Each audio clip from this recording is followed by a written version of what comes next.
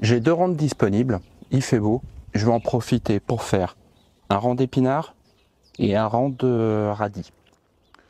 Je vous montre tout de suite comment je prépare mon sol, comment je fais faire mon semis. Vous allez voir, c'est très simple. J'ai de la place là, j'ai mes salades qui sont plutôt belles. Ça va être intéressant de mettre les radis à côté. Dans un premier temps, ce que je vais faire, c'est que je vais décompacter le sol avec tout simplement une fourche bêche.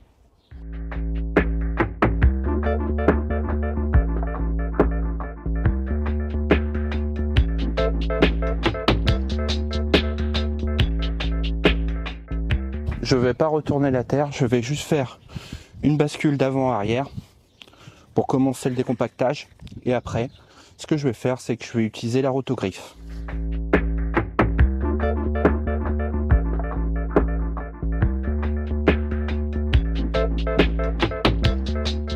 Je vais quand même utiliser la grelinette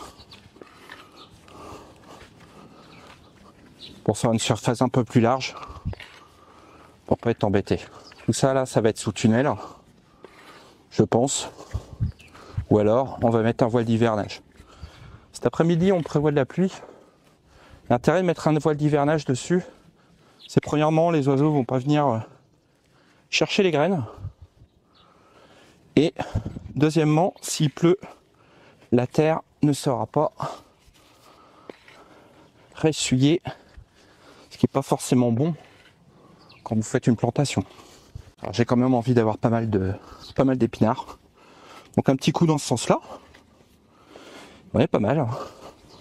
Alors j'avais semé des blettes ici à la volée. Donc j'en vois quelques-unes. Je vais les laisser en plaie. Et je vais pas les arracher.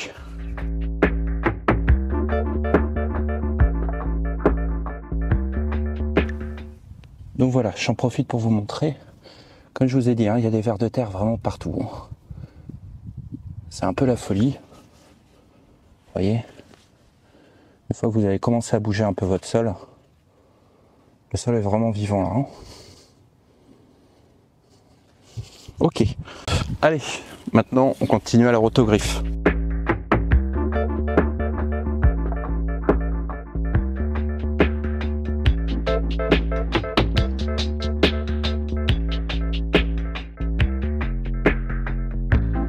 Donc maintenant ce que je vais faire c'est que je vais apporter un amendement organique, euh, une poignée au mètre carré. Donc euh, on va essayer de, de, le faire à peu près. Et ensuite je vais repasser un coup de rotogriffe pour incorporer ce que je viens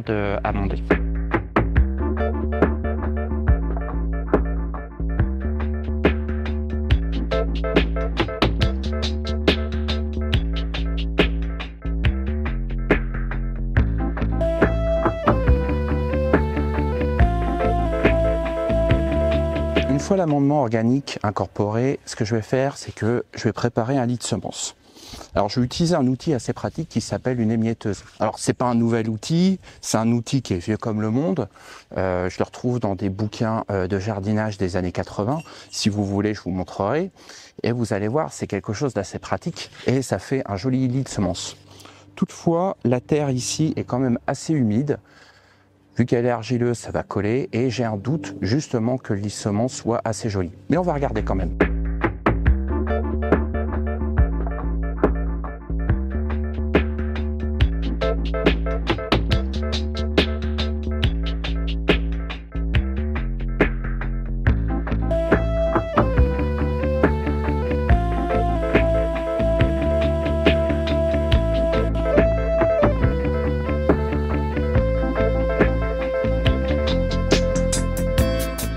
Que j'ai passé mon émietteuse, je vais vous montrer à quoi ça ressemble. Vous allez voir. C'est assez efficace. Le lit de semence est plutôt joli. Et maintenant, j'ai plus qu'à mettre mes graines. Alors bien sûr, avec une terre un peu plus sèche, c'est encore plus joli. Mais euh, là, je trouve que le résultat est plutôt pas mal. Mieux que si euh, je l'avais fait au râteau. Je vais commencer par planter mes radis. Donc on va essayer de faire ça droit, malgré que mes planches sont pas très droites, mais c'est pas trop grave. D'ailleurs, je vais peut-être redresser celle-là, de façon à avoir un passe-pied plutôt droit. Voilà. Ce qui pas trop grave, j'aurais pas de pas de semis ici.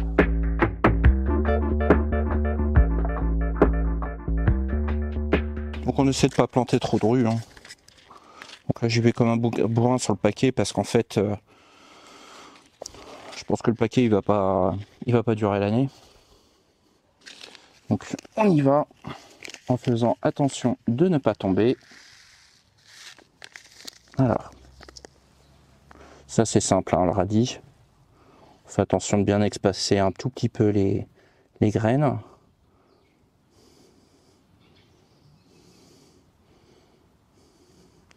C'est quelque chose d'assez, euh, pas forcément minutieux, mais euh, c'est chouette à faire.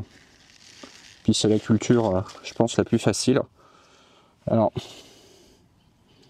la chose qui peut arriver sur le radis en prédateur, ça peut être les altises, hein. bien avant les limaces en plein, en plein été. Ça par contre, ça peut dégommer les feuilles. Les problèmes d'arrosage aussi. Ou alors si vous les cueillez un peu trop vieux, les vos radis, ils vont avoir tendance à piquer. Souvent les problèmes de, plantation de radis, c'est ça. Tardez jamais trop à les récolter, donc ça c'est des radis de 18 jours. C'est quelque chose de classique qui se trouve facilement. C'est de la graine Lidl, hein. il n'y a pas. Euh, a rien d'exceptionnel. C'est quelque chose qui a été vu euh, maintes et maintes fois.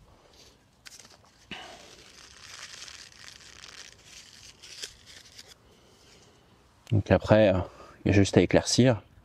est plutôt pas mal. Hein est plutôt pas mal, j'en profite. Il n'y a toujours pas plu. Ils annoncent de la, pluie pour ce week-end. Même beaucoup de pluie.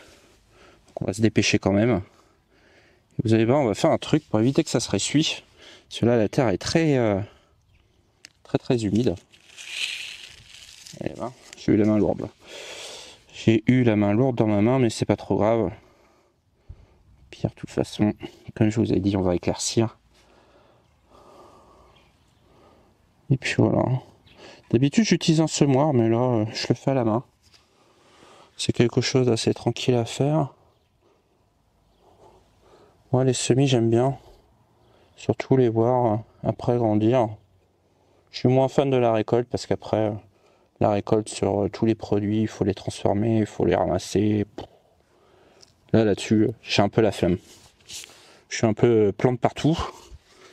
Mais récolte rien. Dites-moi euh, dans vos commentaires si vous aimez ça ou pas et quelle est euh, votre phase la préférée. Je vais recouvrir, si je ne tombe pas, les, graines avec du terreau hein. Je m'en sers aussi pour ça.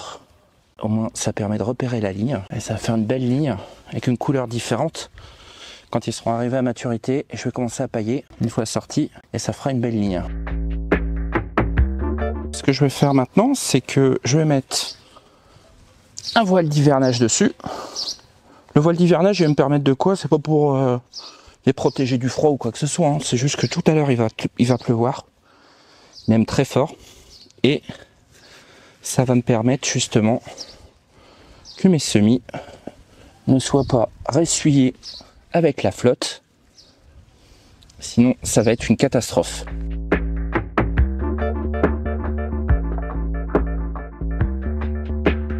Il me reste plus qu'à faire les épinards. Alors pour les épinards, ça va être un peu différent. Ce que je vais faire, c'est que je vais faire un peu un semis à la volée, euh, de façon à les avoir bien serrés, les avoir un peu partout. Je trouve ça un peu dommage de les avoir en ligne. Donc euh, là, on va y aller franchement.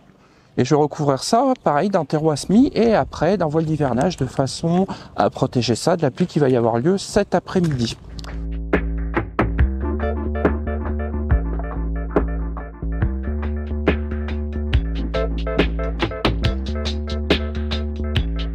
Ça devrait pousser tranquillement, il n'y a pas de souci, il n'y a pas de raison.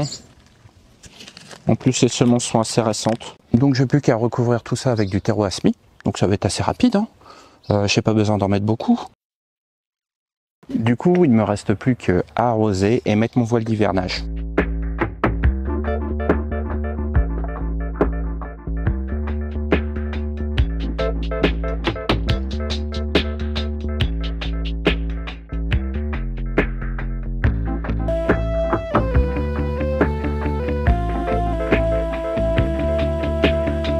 Cette vidéo touche à sa fin.